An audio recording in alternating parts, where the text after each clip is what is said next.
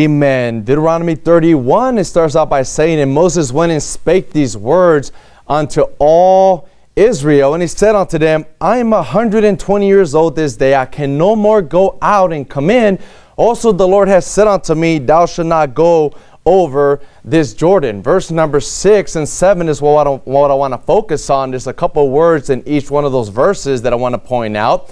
So Moses is clearly talking to the children of Israel, and he continues his, his I guess you could say, his sermon here in verse number six, where he says this. He's talking to the children of Israel, and he commands them and tells them, Be strong and of a good courage. Fear not, nor be afraid of them.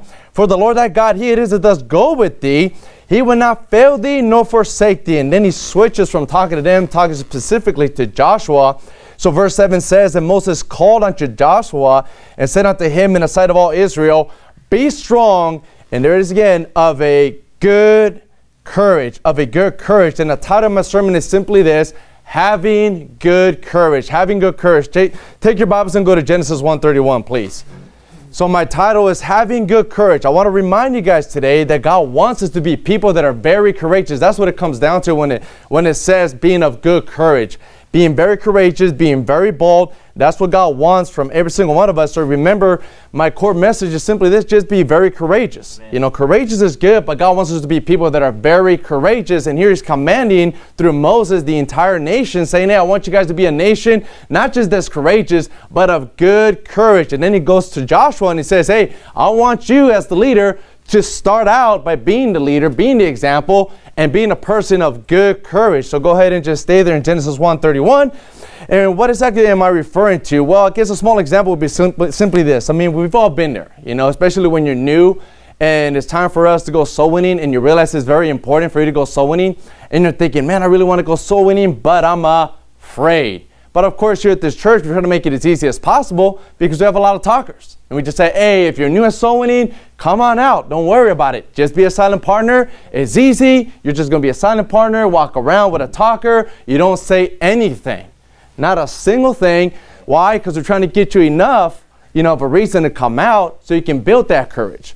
Well, I guess sometimes, you know, it just takes maybe a month or so of just hearing the pastor say, hey, coming out soul winning, come out soul winning, come out soul winning. But sooner or later, hey, let's just face it, you know, being at this church, you're probably going to need enough courage to just come out, at least as a silent partner. And that's great.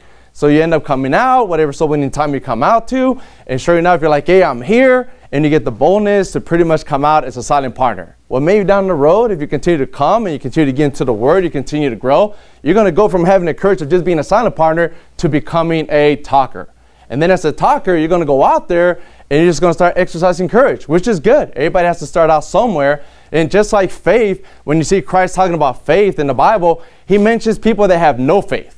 Then he mentions people that have little faith. Then he mentions people that have great faith. Courage is similar. There's different degrees to it. But the one thing I want you guys to remember is that having courage is what God wants, but he wants us to be people that have good courage, good courage.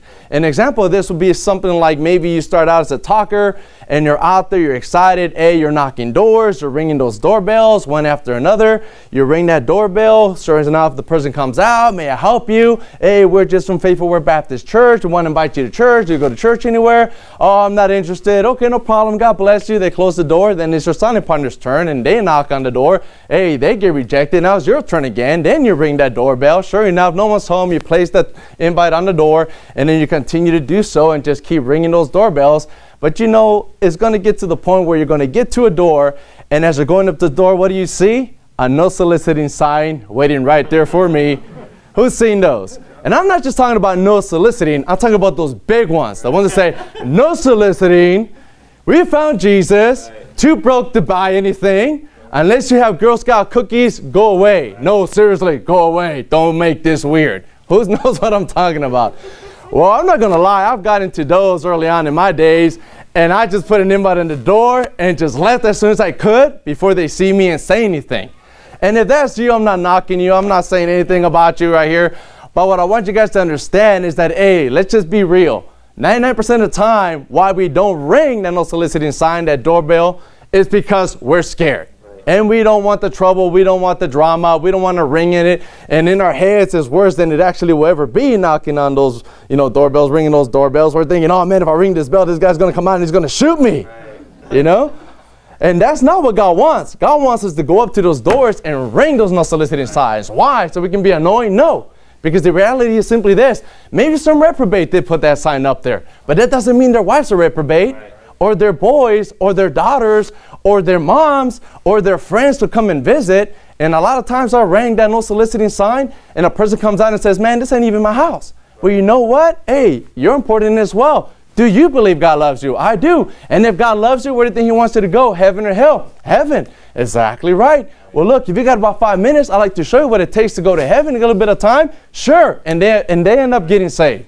Who's had those experiences where you knock on those nasty, no soliciting signs, and sure enough, the person is going to say Amen. Right. And so knock on those. Why? Because you know what? If you don't knock on them, you're giving up great opportunities. Great opportunities. And let me just tell you this from experience about 95 and maybe even 99% of these doors that have no soliciting, hey, we found Jesus, hey, I'm not interested in anything, we're too broke for this, only Girl Scout cookies, no, seriously, go away, don't make it weird. Hey, about 99% of those doors, the people, the people are cool.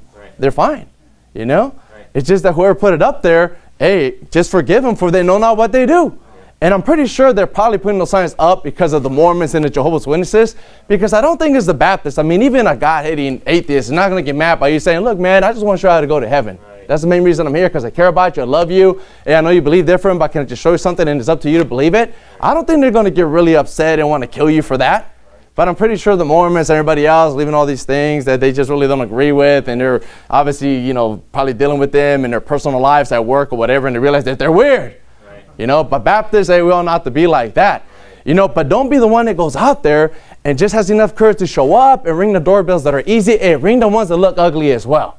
All right? And that's just a small little example of how we can start exercising bigger courage. Not just having the courage to show up as a silent partner or be a talker, but when you get to those doors, just ring them. Just ring them, ring them, ring them. You're giving up opportunities if you don't. And guess what? God wants us to exercise good courage everywhere we go. And that's just a small example that can help you to do bigger things down the road. You know, but what exactly do I mean by good? What exactly do I mean by that? I think it's the same good that we see in Genesis chapter number 1. And I'll just read Genesis 1 4, 1 10, 12, 18, 21, 25 really quickly, just to remind us that the word good is in the Bible and God uses it in a positive way. And it says in Genesis 1 4, if you want to follow along, keep up, that's great. It says, And God saw the light that it was good, and God divided light from the darkness. Genesis 1 10. And God called the dry land earth, and it got together of the waters called he seas. And God saw that it was good. Genesis 1.12. And the earth brought forth grass, and herb yielding seed after his kind, and the tree yielding fruit, whose seed was in itself after his kind. And God saw that it was good. And to rule over the day and over the night, verse 18, and to divide the light from the darkness, and God saw that it was good. Genesis 1.21, and God created great whales and every living creature that moveth, which the waters brought forth abundantly after their kind, and every winged fowl after his kind. And God saw that it was good. Genesis 1.25, and God made the beasts of the earth after his kind, and cut after their kind, and everything that creepeth upon the earth after his kind. And God saw that it was good. You're there in Genesis 1.31. And God saw everything that he had made, and behold, it was very good. Very good. And I just ended up searching that word good, just give me like a clear understanding. You know, sometimes we know words, but it's good to define them or even Google them or whatever and look, look them up in a dictionary just to give you a clear understanding, which helps you understand the scripture a whole lot better. So I just Googled good, and this is what came up good, excellent, superb, outstanding, magnificent, of the highest quality, highest standards, exceptional, marvelous, wonderful, first rate, first class, splendid, super, great, hunky dory. A1. I always wonder why did they call this barbecue sauce A1? Whoever knew that A1 means great, outstanding, excellent, superb. Whoever knew that? Oh. Well, you know what? Hey, who's in charge of the money bag? No, I'm just kidding. Where'd you go buy some barbecue sauce? Make sure it's A1. Stick it in the fridge. Every time you guys get water, hey, reminds you to have good courage, okay? I'm just kidding, by the way. But there's more terrific, tremendous, fantastic, fab. Hey, for you people that love Disney, supercalifragilisticexpialidocious. That's the definition for good. You know, I'm not promoting uh, for you know you guys that are holier than thou. I'm not promoting Disney here. But there's a few more. Look at this: top notch, tip top. What does the word good mean? It means awesome, and if you're from Australia, it means wicked. That's how they talk down there. Wicked, mate. No, in America, wicked is not good. But here's what we got words that describe good to the T because God said it was very good. So you subtract the word good and add any of those, it'll work. And God saw that it was excellent, superb, outstanding, magnificent, of the highest quality, highest standards, exceptional, marvelous, wonderful, first rate, first class, splendid, superb, great, hunky dory, A1, terrific, tremendous, fantastic, fabulous. All that fits perfectly with Genesis 131, does it not? Absolutely perfect to the T. But can God look at you and say, Look, I know he has courage, but can you think about God just thinking about you for a second? Do you think he'll say, hey, I know Fabian, that guy has good courage. That guy has supercalifragilisticexpialidocious type of courage. How about you? Can he say that about you? Can he say that about me? I don't know, but hey, that's the goal, just so you know. Showing up is not enough, and that's great. Somebody has to start somewhere, but never forget, hey, courage is not enough. Having good courage, great courage, supercalifragilisticexpialidocious courage is what God wants, yes or no? Now, if you have your Bible, go to Genesis 31 3. So now that you have a bunch of words that can help you to figure out what good means, hey, let's just talk about the other word, which is courage. And when I looked up that word courage, I came across three definitions, and I tend to agree with all three. They're 90% similar. One is a little bit different, but I want you guys to see all these, and I agree with them because I do see these in Scripture. So when I Googled the word courage, here's just the basic web definition of courage that I saw. This is what it says. I just Googled it, didn't do anything crazy. This is just a web definition that came up on Google, and this is what it said courage, the ability to do something that frightens one. Who's ever heard that definition before? I think I've heard that from like, that, that reprobate guy, Ray Comfort. Who's heard of Ray Comfort? You know, when he teaches about, you know, giving the gospel, he says that, you know, courage is not the absence of fear, is the overcoming of fear, or something like that. So this is kind of like where he got it more than likely. But I do see in the scripture, you're right there in Genesis 31 3. Hey, let's just quickly read. And the Lord said, so who's talking here? It's the Lord. He's talking to who? He's talking to Jacob. And the Lord said unto Jacob, Return unto the land of thy fathers and to thy kindred, and I will be with thee. And Jacob sent and called Rachel and Leah to the field unto his flocks, and said unto them, I see your father's countenance that it is not towards me as before, but the God of my father had been with me. And the angel, verse 11, and the angel of God spake unto me in a dream, saying, Jacob, and I said, Here am I. And he said, Lift thou now thine eyes and see all the rams which leap upon the cattle are ringed, straight, speckled, and grizzled. For I have seen all that Laban doeth unto thee. I am the God of Bethel, where thou anointest a pillar, and where thou vowest a vow unto me. Now rise, get thee out from this land, and return unto the land of thy kindred. So God is the one that's giving him order, saying, Jacob, get up and go back where you came from. And last time he was there, somebody wanted to kill him, and that person was who? Esau, his brother. So I'm sure he's wondering, what in the world? I'm going back? Hey, last time I was there, somebody wanted to kill me, which is the reason why I even left. But let's just go to the next chapter, 32.1. Let's take a look at Genesis 32.1. And then we'll see exactly whether or not this definition is biblical or not. It says, And Jacob went on his way, and the angels of God met him. And when Jacob saw them, he said, This is God's host. And he called the name of that place Mahanaim. And Jacob sent messengers before him to Esau, his brother, unto the land of Seir, the country of Edom. And he commanded him, saying, Thus shall you speak unto my lord Esau. Thy servant Jacob says thus, I have sojourned with Laban and stayed there until now. And I have oxen and asses, flocks and men servants and women servants, and I have sent to tell my Lord that I may find grace in thy sight. And the messengers returned to Jacob. So he's going over there, he's near there. He sends some of his servants to go talk to Esau, and now they're coming back. And the messengers returned to Jacob, saying, We came to thy brother Esau, and also he cometh to meet thee, and four hundred men with him. Then Jacob was greatly afraid and distressed. And he divided the people that was with them in the flocks and herds and the camels into two bands, and said, if Esau come to the one company and smite it, then the other company which is left shall escape. And Jacob said, O God of my father Abraham and God of my father Isaac, the Lord will say unto me, Return unto thy country and to thy kindred, and I will deal well with thee. I am not worthy of the least of all the mercies and of all the truth which thou hast shown unto thy servant. For with my staff I passed over this Jordan, and now I'm become two bands. Look at this. Deliver me, I pray thee, from the hand of my brother, from the hand of Esau, for I fear him. So, what was that first definition? The ability to do something that frightens one. So, here we see it in Scripture. He's afraid, but yet he's still doing it. Right. So what are we learning? We're learning that, A, he does have courage, but this is not the example courage. This isn't where you ought to be. This isn't where oh, I'm afraid, but I'm still going to do it. Well, you know what? If you have to do that, then do it. Fake it till you make it type deal. But remember, the goal is to have good courage, not just courage. Now, he has good courage in a sense, but he doesn't have the courage that's complete because he's lacking one thing, and we'll get to that in a second. So we see that in Scripture where he is doing something that does frighten him. Now let's look at the Merriam-Webster definition of courage. And I do see it in the Scripture in a way. It says, mental moral strength to venture, persevere, and withstand danger, fear, or difficulty. If you got your Bibles, go ahead and go to 1 Samuel 17.32. While you go to 1 Samuel 17.32, I'm just going to quickly talk about the Apostle Paul. This is a famous story, so I'm not going to have you guys go there and read it with me, but I'll quickly uh, read it. Acts 20, 21 says this, testifying both to the Jews and also to the Greeks, repentance towards God and faith towards the Lord Jesus Christ. And now, behold, I go bound in the Spirit unto Jerusalem. So now Paul is getting ready to go back to Jerusalem, and he says, not knowing the things that shall befall me there say that the Holy Ghost witnesses in every city, saying that bonds and afflictions abide me. So that's not a good thing. That's enough to scare the average person. But this is what he says. But none of these things move me. Neither count I my life dear unto myself, so that I might finish my course with joy. So he knows, hey, I might go to Jerusalem and there's some danger there. Not just some danger, it's going to be difficult. He's been there before. He wasn't treated very well. He was persecuted. And that's what this definition in Merriam-Webster says. Hey, the moral or uh, mental strength to venture, persevere, withstand danger, fear, difficulty, which is what he's doing. He's saying, hey, these things don't move me.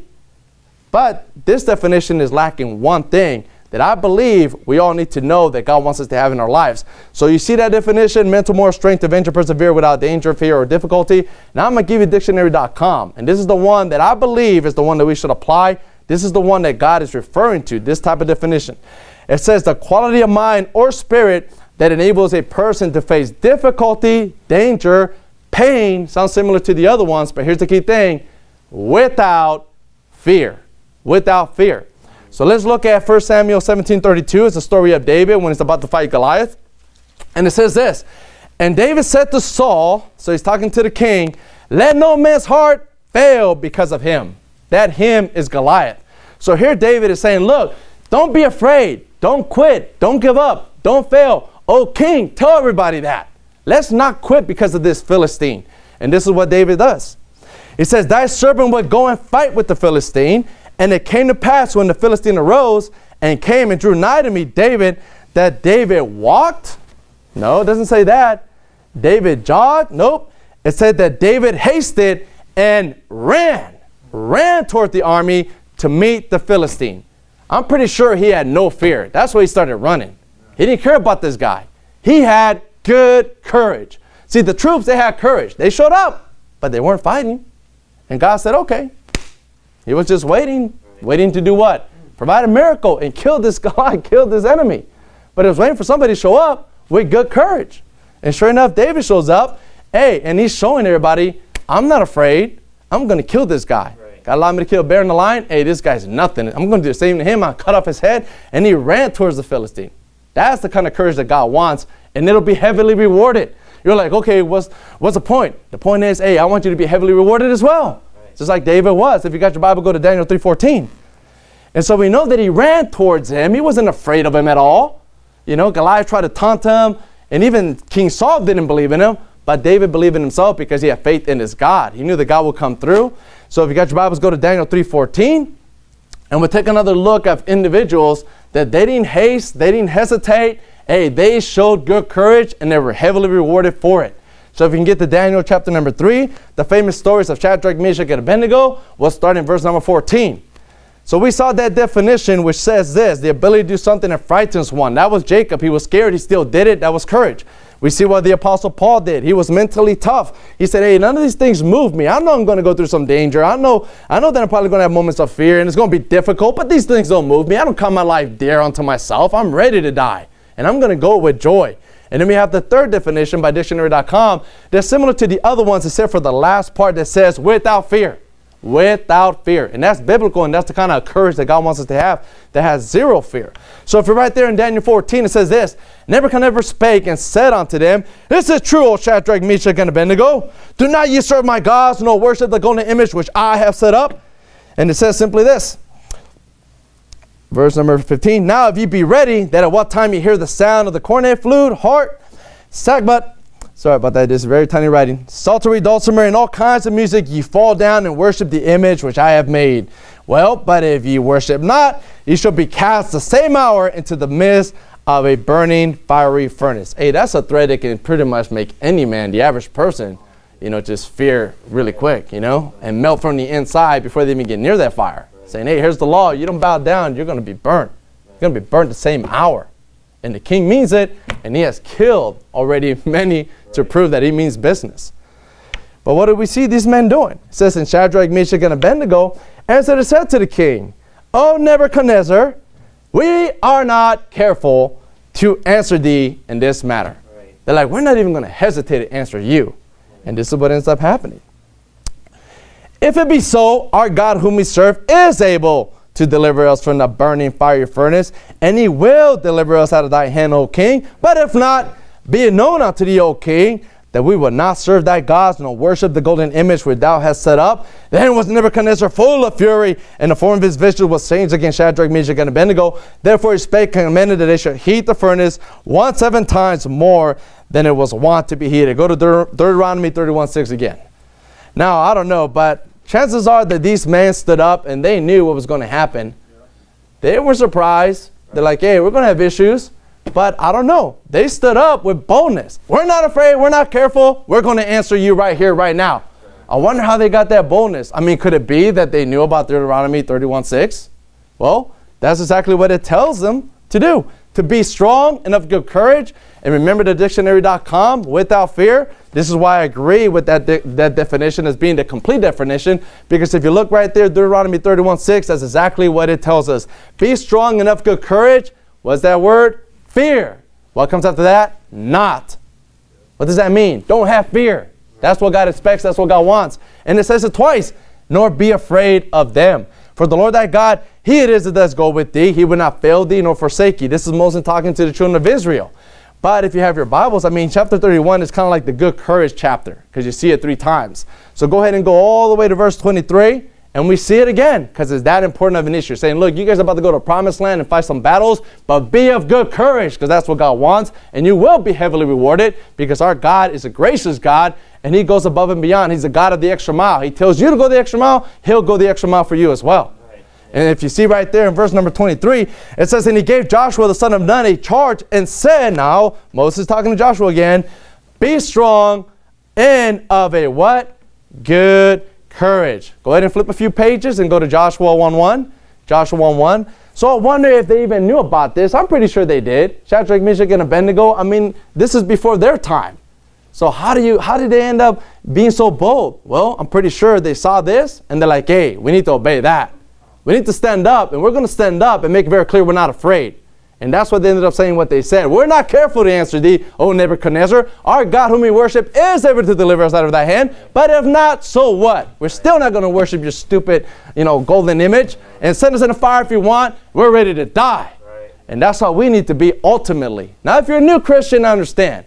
But you can get to this point as well by continuing to see these promises in Deuteronomy and in Joshua 1 1. Go ahead and take a look at Joshua 1 1. It says, Now after the death of Moses, so now he's dead the servant of the Lord. It came to pass that now what's going on? The Lord. So now the Lord's talking to Joshua because he wants to remind him of this important subject. He wants to remind him of how he wants him to be as a leader. And it says that the Lord spake unto Joshua, the son of Nun, Moses' minister, saying, Moses, my servant, is dead. Now therefore arise, go over this Jordan, thou and all this people unto the land which I do give to them, even to the children of Israel. Every place of the sole of your foot shall tread upon, that have I given unto you. As I said unto Moses, from the wilderness and this Lebanon, even unto the great river, the river Euphrates, all the land of the Hittites, and unto the great sea towards the going down of the sun, shall be your coast. There shall not any man be able to stand before thee all the days of thy life. As I was with Moses, so it will be with thee. I will not fail thee, nor forsake thee. There it is again. Be strong and of a good courage. For unto this people shall thou divide for an inheritance the land which I swear unto their fathers to give them. Only be thou strong and what? Very courageous. Very courageous. Not just courageous, very courageous. So going up to that door and kind of seeing that no soliciting sign and slapping a little invite and backing up all quick to get to the next door isn't being very courageous, people. Let's just be honest with ourselves, okay? So the goal is to get you guys to start knocking those doors so you don't give up the opportunities because at the end of the day, it's about saving souls. And if they don't have ears to hear, then don't let them hear. Move on. Move on to the next door.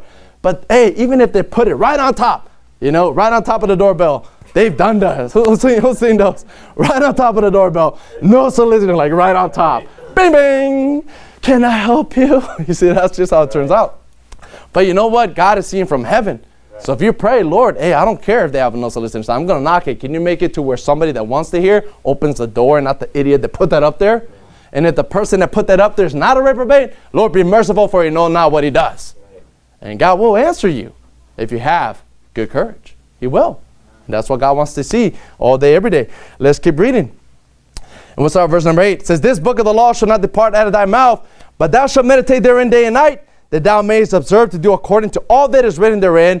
For then thou shalt make thy way prosperous, and then thou shalt have good success. So who's talking? God is still talking. Who's he talking to? Joshua. Now look what it says. Have not I suggested thee? Is that what it says? No. Have not I what? Commanded thee, like thou shalt not kill, thou shalt not steal, thou shalt not commit adultery. Hey, did you know that God is commanding us to have good courage, to be very courageous? And how do you know if you're being very courageous? Look at the next part. Be not afraid. And he says it again. Neither be thou what? Dismayed. It's the same thing. Being afraid, terrified. That's what it means to be dismayed. For the Lord thy God is with thee whithersoever thou goest. Now go back to Deuteronomy 31 6. I'll skip all the way to Joshua 10 25. So God obviously sent Moses to talk to the children of Israel. Then he had him specifically talk to Joshua. Then Moses ends up dying. Now is God again talking to Joshua because this is a very important subject. He's about to go to war. In a sense, start his ministry. And if you guys want to be pastors, I'm reminding you that courage is not enough. You have to have good courage. Be very courageous. Yeah, you can get up here and preach the easy stuff, but how about the hard stuff? And we'll talk about that later. But that's the thing that we all need to focus on. Hey, I need to be a man of good courage. I need to be a dad of good courage. I need to be a husband of good courage. You need to take the bull by the horns, and it takes good courage to do that. Right. But we need to focus on these things because they're very important. And Joshua he reminded the people in Joshua 10:25. This is what it says. You don't have to go there. It says, And Joshua said unto them, Fear not, nor be dismayed. Be strong and of good courage. Good courage. And that's what I'm doing today. What Joshua did 2,000 years ago, 3,000 years ago, however long ago. Just telling the people, reminding them, saying, Hey, you heard it from Moses. As a good minister, I'm helping you to remember what he said. I'm putting you in remembrance. Have good courage. That's what God wants. Men, women, and children. God wants you to have good courage. Knock that no soliciting sign from now on. Don't let a single one escape you. And what do I mean by dismayed? I'll just read the definition. Merriam-Webster's. To cause to lose courage or resolution as because of alarm or fear. Knocking those doors. Ding, ding, ding, ding, ding, ding, ding, ding. Ooh, this isn't so bad. Ding, ding, ding, ding, ding, ding. Ooh, no soliciting. What do I do with this? What do I do with this, brother? You know, ring that sucker. Bang! That's what you do with it. Whoa, why? Isn't it going to annoy them? what do you think is going to be more annoying, me or hell? Right. Just realize that as you're knocking doors. Show some courage. Very courageous. And that's what God wants us to make sure we understand. He wants us to be courageous. How do you know? If you don't have fear, you're probably being very courageous. In fact, you are. Remind you once again, Deuteronomy 31 6 says this Be strong and of a good courage. Once again, fear not, nor be afraid. Go to 1 Chronicles 22 6. We see it right there in Deuteronomy. We see it in Joshua. Have not I commanded thee? Be strong and of a good courage. And he says it again Be not afraid. Telling people, hey, don't be afraid. At the end, there's nothing to fear but fear himself. And God is the one that said, hey, fear not them that kill the body, but not able to kill the soul, but rather fear him which will destroy both soul and body in hell. So if you happen to get there, 1 Chronicles 22 6, great. If not, meet me at verse number 12. But I'm going to start at verse number 6. And this is what we should be focused on as husbands, as you know, Christians, church members, workers, co-workers, whatever the case may be, soul winners, talkers, silent partners, hey, this is the thing that we, we need to focus. Is like, hey, watch the fear level. You know, make sure it's God who you're fearing, and not be going soul winning with a heart that's already melting before you even get to the first door. You know.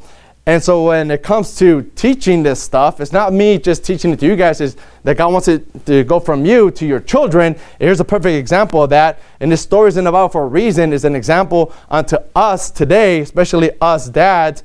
In First Chronicle 22 6, is David talking to Solomon. He's about to die, and he ends up getting him some orders. And look at the last words, one of the last words that he says to his son Solomon, says this, Then he called for Solomon his son and charged him to build a house for the Lord God of Israel. And David said to Solomon, my son, it says, As for me, it was in my mind to build a house unto the name of the Lord my God. But the word of the Lord came to me, saying, Thou hast shed blood abundantly and hast made great wars. Thou shalt not build a house unto my name, because thou hast shed much blood upon the earth in my sight. Behold, a son shall be born to thee, who shall be a man of rest, and I will give him rest from all his enemies round about. For his name shall be Solomon. And I will give him peace and quietness unto Israel in his days. He shall build a house for my name, and he shall be my son, and I will be his father, and I will establish the throne of his kingdom over Israel forever. Now, my son, the Lord be with thee, and prosper thou, and build a house of the Lord thy God, as he has said of thee. Only the Lord give thee wisdom and understanding and give thee charge concerning Israel, that thou mayest keep the law of the Lord thy God. Then shalt thou prosper, if thou takest heed to fulfill the statutes and judgment which the Lord charged Moses with concerning Israel. And what were some of those things that Moses charged Israel? It says right there, be strong and of good courage. So here's David's about to die. He can say anything to his son. And what does he do? He quotes Moses. Say, hey, be of good courage. And in case you don't know what that means, Solomon, look at the next part. Dread not. Dread not, nor be dismayed. Once again, what is dismayed? A losing courage because of alarm or fear, becoming fearful. says, look, don't be dismayed, dread not. That's how I want you to be, Solomon. When I die, that's the kind of man I want you to be, of good courage, very courageous, very bold, and he wants you to do that. And wants you to obviously understand that it means to dread not, and that's to not have fear. You know, but that's what we need to ask ourselves. Am I afraid or just excited? Because sometimes we can confuse, you know, both of them. It's like, man, I can't wait to knock doors. You're a little nervous, maybe because you don't really know what to say. You haven't gone winning in a while, or whatever the case. I don't think that's the same as, hey, you know, being fearful.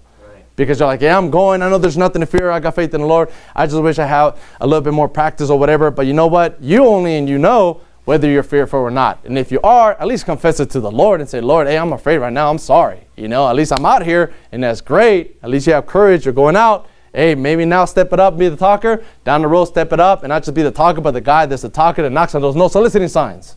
All right? That's how we need to look at things. You know, but here's a few areas that God wants us to be very courageous and have good courage. One is preaching, not just preaching out, knocking door to door, but opportunities that can come up. Here's a perfect example. In my early Christian life, I was going to the police academy. And sure enough, they wanted us all to introduce ourselves. Hey, you got three minutes, go up there, introduce yourselves. And the instructor's like, look, I want you to give us your name. I want you to tell us where you're from. And I want you to tell us the greatest day of your life. So I'm sitting there at my desk and I'm like, oh, I know what that is. What do you think it is? The day I got saved. Who said that? Did I tell you the story? No. Okay, good. It was the day I got saved. Right away, I'm sitting there like, oh man, yeah, this is the perfect opportunity. There's 40 students. And of course, I cared about them and I always had it on my mind. I already had been going to church for about six months, already did some soul winning, and it was important. And it was God's will for me. It's the purpose I'm here on this earth. And sometimes I go to different places. I'm like, man, I wish to give everybody the gospel. But here I am, perfect opportunity to tell people, hey, here's the greatest day of my life. This is the day I got saved. Because then I figured the first thing that's going to come out of their mouth is, what do you mean by that? And then I could just tell them my story, how I ended up getting saved, and from, you know, just going to, you know, help out my cousin. I ran into my pastor, and he asked me, you know, for sure going to heaven. I said, yeah, but I gave him the wrong answers. Then he said, well, can I show you what the Bible says? He's like, sure. He gave me Romans Road, and boom, 25 minutes later, I'm saved. You know, I was ready to give him that. So sure enough, I'm there. I'm getting a little nervous. Palms are sweaty and whatever. But I'm like, I'm going to do this, man. I'm going to do this, you know. And I was like, all right, girl, get up there. Boom, I come up there. All right, my name is Recruit Segura. I'm from East Palo Alto, California, and the greatest day of my life is the day I graduated Marine, Marine Corps boot camp. and I knew that was a lie. I knew it. It's just that what happened? I lost courage. I lost courage. But hey, you know what? That can happen to you too. You know, be ready for that opportunity. Be ready to go up there with good courage and be like, hey, the greatest day in my life, the day I got saved. Who knows what I'm talking about? How many of you are saved? Who knows what I mean? And just give it to them. And if you think that, hey, what an idiot, brother, girl, you're lame. Let me tell you something. I had an assistant pastor, my assistant pastor. He ended up deciding that God didn't want him in the ministry anymore and God wanted him to be a police officer. Well, when I went to go sign up, guess what's going on? As I'm walking into the building, guess who's walking out? My assistant pastor. Boom, he walks out, right? The man, you know, the guy that's the next, I guess, up, you know, he preached at us, he taught us, he did Sunday school class, you know, he taught me this, taught me that. He even got up one time and says, Look, the ministry is the greatest job in the world. I'm so grateful, blah, blah, blah, blah, blah. And then when I run into him, I'm like, Yo, what are you doing? Oh, I'm having spiritual problems. Spiritual problems. I'm like, Okay, whatever, you know. And then I guess the spiritual problem was that he wasn't making enough money. And he wanted to make more money. This is in Northern California. So sure enough, you know, he decided, hey, let me check into law enforcement. And he was a smart dude, scored very high. And they're like, yeah, man, turn an application. Ended up getting hired, went to the academy. But when I found out he started the academy, you know what I did? I went straight to him and I said, you know what? Started the academy this week? Yeah, hey, tell me. Because I knew they did it the first week. He's like, tell me. I was like, tell me. When they told you to get up there and tell people what is the greatest day of your life, tell, them, tell me you told me, tell me you told them is the day you got saved and you gave them the gospel. You know what he says? No, I didn't. I didn't. Because guess what? He lost courage too. And this guy's a Bible college student. He grew up in a Baptist church. He graduated. He's an assistant pastor. Think about it. Come on, you can be merciful on me. I was brand new. I just started going to church. I just started learning about this Baptist lifestyle and soul winning and everything else. But this is a guy with maybe 15, almost 20 years of experience, and he cowered down. He didn't take the opportunity to witness to his class. And you know what he said that following day or uh, the same week on a Sunday? He's like, man, he's like, you messed me up. I can't stop thinking about that. I can't get it out of my head. I said, well, you need to tell God you're sorry. You need to confess and forsake what you just did, man, because if anybody had an excuse, it was me. You had no excuse. You totally bombed it. But that can happen to anybody. You know, but how about pastors? Doesn't God want pastors to preach this word with courage? Go to Matthew 10 24. If you can, go to Matthew 10 24. And I'll slowly start reading and I'll talk fast, but I'll start with verse number 24 and meet me right there in verse number 28. So I'm going to start in 24. You guys meet me right there in Matthew 10 28. It says this And the disciple is not above his master, nor the servant above his Lord. It is enough for the disciple that he be as his master and that the servant as his Lord. If they have called the master of the house Beelzebub, how much more shall they call them of his household? Fear them not, therefore. For there is nothing covered that shall not be revealed, and hid that shall not be known. What I tell you in darkness, in darkness, that speak you in the light, and what you hear in the ear, that preach ye upon the housetops. And fear not them which kill the body, but are not able to kill the soul, but rather fear him which is able to destroy both soul and body in hell. Isn't it interesting that he's talking about preaching this word, preaching upon the housetops, and what does he say right afterwards? And don't be afraid when you do that. Don't be afraid of these people that can kill you.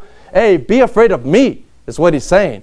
So when it comes to areas that God wants us to be bold in, hey, preaching is one of them. Not just door to door, but also in your personal lives. Watch for those, those opportunities that God will give you. Take advantage of them. Prepare for them now. And if you're ever a pastor, never forget that you need to get up there without any fear when you preach God's word. And that's when you know you're filled with the Holy Ghost. And I'm not trying to boast but I tell myself right now. I'm not afraid at all at this second. I'm not. You know, I already had somebody pray for me. I'm not nervous. Hey, this sermon, I've just looked at it really quickly. But all that to say simply this that's when you know that you're good to go. When you're up here and you're a little bit nervous or shaky, maybe you didn't prepare well enough or whatever, okay, I understand that. But you know what? Once you have it down or whatever, you should get up here when you're preaching and not be afraid, not have your heart pumping, oh man, how am I doing? Am I going to faint out here from just the nervousness? You know? No, you need to get up there and be bold about it and tell people, hey, this is just simple stuff to remind you guys that we need to aim at this. This is the goal. But if you have your Bible, go to Jeremiah 4 8. Here's another example of how God wants His word preached. And you guys can go to verse number 8. I'm going to start in verse number 4, nice and slow. It says this in verse number 4 Then the word of the Lord came unto me, saying, Before I formed thee in the belly, I knew thee. And before thou camest forth out of the womb, I sanctified thee and ordained thee a prophet unto the nations. Then said I, Ah, oh, Lord, behold, I cannot speak. I am a child. But the Lord said unto me, Say not, I am a child. For thou shalt go to all that I shall send thee, and whatsoever command thee, thou shalt speak. Be not afraid of their faces. Be not afraid. That's what God wants us to do, is to preach His word with boldness, with no fear, with good courage. Go to Hebrews 4.16. And while you're going to Hebrews 4.16, here's a warning from God. If you're going to get up here and preach the word and afraid about what the deacons are going to say, or afraid about what the government's going to say, or afraid about whatever church member's going to say, this is what God says. Jeremiah 1.17. You don't have to go there. You guys go to Hebrews 4.16. It says, Is thou therefore gird up thy loins? He's talking to Jeremiah. And arise and speak unto them all that I command thee. Be not dismayed. He's like, hey, don't be afraid. Be not dismayed at their faces, lest I confound thee before them. To confound means to confuse, to trouble. Basically saying, look, I'm going to embarrass you if you get up there and you're afraid to preach my word. I'm going to embarrass the daylights out of you. Right. That should be a warning that should put the fear of God in you. And you can't fear both. I don't believe you can. I don't think you fear man and then be afraid of God. It's one or the other. If you fear God, amen, it's really not a big deal anymore. It's like, what are you going to do to me? You know? Oh, you're going to call the cops? But you guys right there in, four, in Hebrews 4.16, so one area to focus, you know, our, our efforts to be very courageous or have a good courage is preaching this word, whether it's door to door, personal life, personal opportunities, whatever the case may be. Preachers obviously preaching God's word, but God also wants us to show good courage or boldness in, in praying to Him. You guys are right there in Hebrews 4.16. It says this, Let us therefore come boldly. That's another way of saying having good courage. Let us therefore come boldly unto the throne of grace that we may obtain mercy and find grace to help in time of need. Go to Jonah 3.8. God wants us to come with him with boldness. Now you can come with him and have boldness and be humble and be torn up and be brokenhearted. You know, but if you come to him and you're brokenhearted, you're all torn up, but you really don't think he's going to answer, that's not having boldness when you come to the Lord. You must believe that he is a rewarder of them that diligently seek him. I mean, John 14, 14 says this, if you shall ask anything in my name, I will do it. Do you look at that verse and believe it, or do you look at that verse and kind of still fear, still kind of tremble and wonder? Of course, a second part to it. It says this If you love me, keep my commandments, and that's the key to getting your answers prayer or your prayers answered, is to love God and keep his commandments. The Bible says in James 1 5, If any of you lack wisdom, let him ask of God to give it to all men liberally and upbraideth not, and it shall be given him. But let him ask in faith, nothing wavering. That's somebody has no fear. He's nothing wavering. He knows it can happen. If anything, he's like Shadrach, Meshach, and Abednego. God can deliver us, but if not, we're not going to worship. Bottom line, we're not going to worship your stupid golden image, Nebuchadnezzar. Jonah 3.8, if you haven't gotten there, I'm almost there.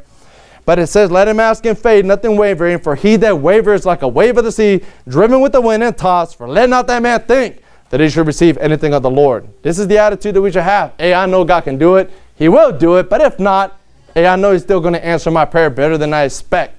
It may not be exactly what I asked for, and for good reason, because if He gave us everything we actually asked for, hey, we can be a lot of trouble. I heard this one church member say, Man, I'm glad God doesn't always answer my prayers because sometimes I ask Him if He could just take me to heaven. and I'm glad He didn't because I would have missed out. You know, I would have missed out in my life. You know, I would have missed out on my kids. But sometimes I get so sad and depressed. I'm like, Lord, just take me home. But we see that in Scripture as well. And they're like, oh, but I'm so glad he didn't answer that. So let's just know that God can answer any prayer, any prayer. You name it, he can answer it. And he's always the God of the extra mile, so he's going to answer your prayer better than you expect. But you have to believe that without fear. When you come to him, you have to say that without fear. And if you're brokenhearted, you can still have boldness as you're brokenhearted and humble before him because a broken and contrite spirit, the Lord's not going to reject. But we're right here in Jonah 3 7. Here's a good example of somebody that I believe prayed with good courage. And therefore God answered him and his people. And it says, and he caused that he is the king of Nineveh. So he hears that, hey, Jonah shows up. Jonah saying that God's going to destroy your land, your country, all of you guys are doomed. And what does he do? Does he just run? Nope. He says this, and he caused it to be proclaimed, saying, look, go out there and proclaim and publish this through Nineveh by the decree of the king and his nobles, saying, let neither man nor beast, herd nor flock taste anything. I'm sure that wasn't hard to tell people. But look at the next part. Let them not, let them not feed nor drink water, but let man and beast. So now he's including people. It says, let man and beast be covered with sackcloth and cry mightily unto God. Yea, let them turn every one from his evil way and from the violence that is in their hands. Who can tell that God would turn and repent and turn away uh, and turn away from his fierce anger that we perish not? And God saw their works that they turned from the evil way, and God repented of the evil that he had said that he would do unto them, and he did it not. If you just read that, you probably won't catch it if you're just kind of like just going right through it. But just imagine having to do that. Imagine having to say, hey, tell everyone to quit it, to stop it to turn from their evil sins, to turn from their wicked ways. Hey, And I want them, not just that, but to stop feeding their animals, stop giving them water. You know, he's like, this is what we need to do. I want that done now. That takes boldness. That's a bold leader right. to be able to execute such an order. Because it wasn't proclaimed to some people, he proclaimed it to everyone. And what did Nineveh have? Like 60,000 at the time? It was a great city. So to get the word to all of them, and for him to do that, eh, he had to put his foot down, show some courage, and get people to go out there and do it and make them cry mightily unto God. That wasn't a suggestion, hey, cry mightily unto God. Perhaps He will see us and repent from all the evil that He said He was going to do unto us. And they didn't. And of course, when it says, hey, let us come to God, but we become to God, Hebrews 11 6 says this. It says, But without faith it's impossible to please Him, for he that cometh to God must believe that He is, and that He's the reward of them that diligently seek Him. I believe he prayed and he knew God could get it done. He's like, hey, we're doomed, we're doomed. I'm afraid of God. And that's the fear that we should have if we're going to have fear. And therefore, God looked down and said, Look, now they fear me. Hey, they've turned from their evil ways because by the fear of the Lord, men depart from what? Evil. So that's more evidence that, hey, this is why God answered because they did, did turn. They switched their fear probably from each other to just fearing God. And God came in and He heard their prayer because they prayed with boldness. Like it says right here in Hebrews 4.16, let us therefore come boldly unto the throne of grace. And that's what this king did. And he made his people do the same. And that's why God came through. And that's the kind of praying we need to have where we come to God with boldness. So, one area to be bold in, obviously preaching, show good courage and praying. But here's another one. I quickly go over it because a lot of people want to hate me when I mention this. Paying God. Paying God. What do I mean by that? Tithing. Tithing. Let's read it. Deuteronomy 14 23. In fact, you guys could just stay where you're at. I'm going to read Deuteronomy 14 23. If you're wondering if you should tithe, and I've talked about this before because it will bring you know, God's curse upon you if you rob God. But if you're wondering, should I really tithe? What's the big deal? Well, Deuteronomy 14 starts off by saying this Thou shalt truly tithe all the increase of thy seed that the field bringeth forth year by year. And for these people that are trying to use the New Testament to say tithing is the Old Testament, etc., etc., if they're honest with themselves, the reason they don't tithe is because they're afraid or they love money. One or the other. When I talk to people and they're like, man, I know I should tithe, but I'm afraid. I barely make it. I'm making 14 bucks an hour. I barely pay my bills. It's like, well, you know what? You need to just fear God, right. you know, and stop fearing everything else and stop pretending like you're this certain individual that somehow needs to fix this and fix that. Just start obeying and let God deal with it. Right. But a lot of people tend to forget, hey, you know what? First you obey, then the promises come in. But they want first the promise and then they want to obey, so well, I want first God to provide and everything else, fix everything, and then I'll start tithing. No, first you obey, then the promise comes. And that's just the way things are and always will be when it comes to God. My quick tip, if somebody comes to you asking you for money, just ask them, look, if you're asking me for money, I have the right to ask you, are you tithing? And you'll be surprised how many of them are not. Think it's a coincidence? It's not. It's not. So it's like, look, man, you need to start that, or you're going to be doing this all your life. And it's not funny. But 2 Corinthians 9 6 says this, But this I say, he that soweth sparingly shall reap also sparingly. And he which soweth bountifully shall reap also bountifully. Every man according as he purposeth in his heart, so let him give, not grudgingly, but of necessity, for God loveth a cheerful giver. This is not a tithing verse because giving obviously is not the same as paying. We pay our tithe, but this is an example of somebody who's giving and they're happy. Why? Because he believes in his God. He believes God's going to provide. This is what's right. Hey, God's going to take care of me. He's not afraid. That's why he's a cheerful giver. You know, when we give and we're not, you know, doing it cheerfully, it's probably because in the inside we're kind of nervous. On the inside we're a little fearful. Am I making the right decision giving this to my friend that obviously I know is a need? Or when you cut that tie check, you're like, oh, you know, hope that doesn't bite me in the butt. You know, you're showing a little bit of fear. God doesn't like that. Right. You know, He doesn't like that at all. He wants you to not worry about it and just move on. Just pay the tithe and move on. And do you think it's a coincidence that people that tithe, they're always taken care of? always taken care of. Right. You know, they're not going to live luxurious or whatever. I mean, they might, you know, but hey, the people that tithe, they're always taken care of by God. They don't have issues. Yeah, they may need to borrow here and there, but they're still good to go. You know, but here's the thing Now we know some areas that we need to kind of step it up and it, when it comes to boldness. Obviously, you know, preaching God's word, praying, paying God's tithe. But let's quickly talk on how we can just increase our courage to where it can be good courage. Well, the simplest, easiest, quickest way is to get right with God. Get the sin out of your life. Get it out of your life. How do we know? Because look what it says in the Bible. Proverbs 28 1. It says, The wicked flee when no man pursueth. It's a very famous verse. But the who? The righteous are what? Bold bold. That's another way of saying courageous right. or very courageous or of good courage. It says the righteous are bold as a lion. If you have your Bibles, go to Psalm 34 20. Go to Psalm 34 20. And here's what the Bible says in Psalms 34 7. The angel of the Lord encampeth round about them that fear him and delivereth them. That's a great promise to those that fear God. It says, So taste and see that the Lord is good. Blessed is the man that trusteth in him.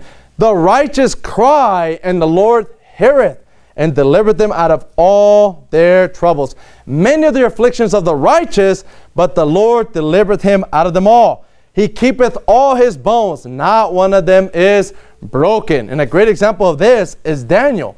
Daniel, I'll just read it really quickly. Daniel chapter 6 says this in verse number 10. Now, when Daniel knew that the writing was signed, he went into his house, and his windows being open in his chambers towards Jerusalem, he kneeled upon his knees three times a day and prayed and gave thanks before his God as he did aforetime. Then these men assembled and found Daniel praying and making supplication for his God. And when he came to the den, he cried with a lamentable voice. You know, skipping to verse number 20 when he's about to get cast into the lion's den for obviously disobeying this commandment that went out that nobody's allowed to pray to their own God except the God that, you know, the king had at the time. And verse 20 says this, And when he came to the den, he cried with a lamentable voice unto Daniel. And the king spake and said to Daniel, O Daniel, servant of the living God, is thy God whom thou servest continually able to deliver thee from the lions? Then said Daniel unto the king, O king, live forever. My God has sent his angel and has shut the lion's mouth that they have not hurt me, for as much as before him innocency was found in me, and also before thee, O king, I have done no hurt. Then was the king exceeding glad for him, and commanded should take Daniel up out of the den. So Daniel was taken up out of the den, and no manner of hurt was found upon him because he believed in his God. So, of course, it took boldness to pray, understanding that he's going to be cast into a den of lions. He didn't just show courage, he showed good courage because he could have just prayed with the windows closed. But he went the extra mile and said, Lord, I believe in your word. I'm going to show you that I believe it. And he opened up the windows, making it clear to everyone three times a day hey, I'm still praying to my Lord. I'm not obeying this stupid law. He could have just kept those windows closed, could he not? But he didn't. He popped them open and was loud and proud. They heard it. They saw him. King, he broke your law. All right, well, you know, I guess I got to throw him in the lion's den. He felt bad about it. He did, and none of his bones were broken. Why? Because in verse 34, 20, you're right there, it says that the Lord, for those that are righteous, that's the key thing. Not every one of his children is, is going to be guaranteed this promise. It says he keepeth all his bones, not one of them is broken. So doing the right thing is going to save you physically from harm is going to provide for your own when you're doing what's right. But another way to, uh, to build up your courage is what you guys are already doing, reading God's word. I'll quickly read some verses and then we'll finish. Deuteronomy 17, it says, And it shall be, when he sitteth upon the throne of his kingdom, that he shall write him a copy of this law in a book out of that which is before the priests, the Levites. This is Moses saying, hey, when you make up, when you get a king, which is not what they were supposed to do, hey, we want him to write the Bible by hand and have him with him why? So he may learn to fear the Lord so his heart doesn't get lifted above his brethren. So he can stay humble and righteous. And how is that going to happen? By him reading the word. It says right there, he shall read therein all the days of his life. And we should make that a point to read the Bible, even if it's for 10 minutes. Read it every day of our life. Some days you'll have more time than others, but let not a day go by because it's God's commandment for us. It's like, does God really care about me reading my Bible every day? He sure did. He made this king do it by hand and keep it with him and read every day. And not just that, look at Joshua 1, uh, 1 7 says, Only thou, you know, only be thou strong and very courageous, that thou mayest deserve to do according to all the law which Moses my servant commanded thee. Turn not from it to the right hand or to the left, that thou mayest prosper where thou goest.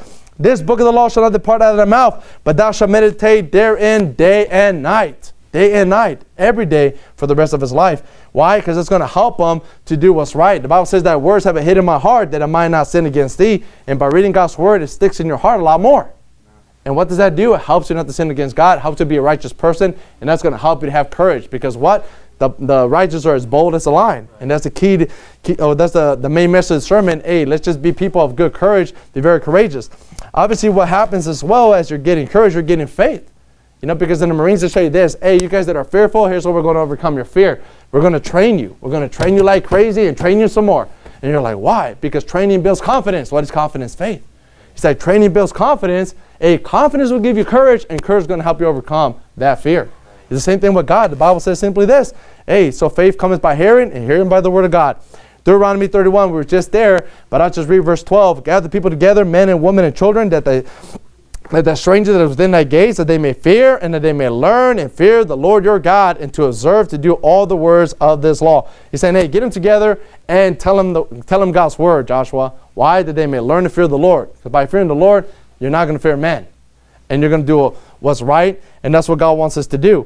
He wants us to read God's word, hey, repent of sin, turn from it, confess it and forsake it. Obviously, hearing God's word is great. That's what you guys are doing here.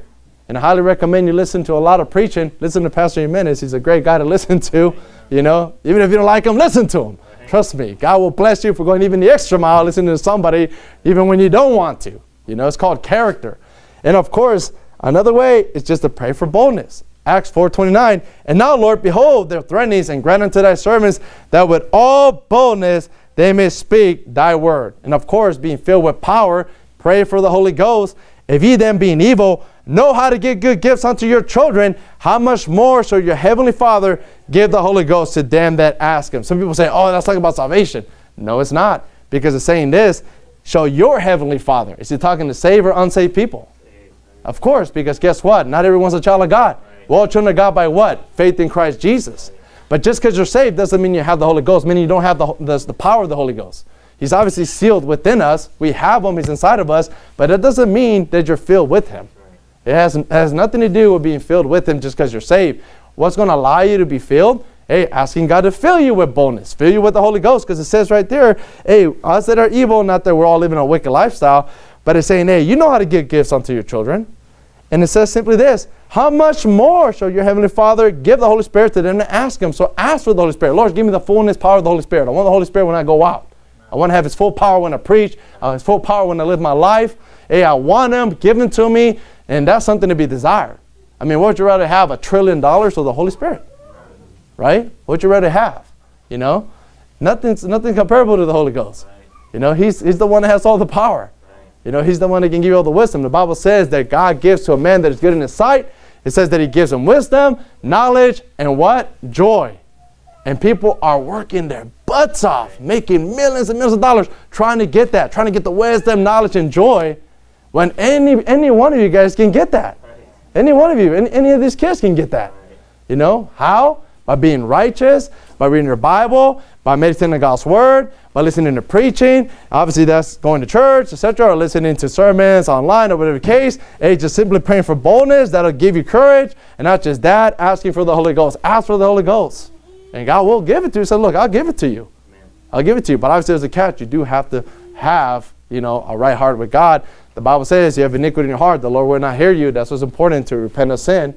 You know, but in conclusion, what's the whole point? The whole point is that this is what God wants in our lives to be filled with good courage. Not everybody can be the pastor. Not everybody can be the trash can collector. You know, that's what I do at church. you know, not everyone can be the coolest guy in class, but you know what? Everybody, everybody, even the kids, can have good courage. Even the kids can do that Amen. by doing these. Okay? And let's remember that. Dear Father,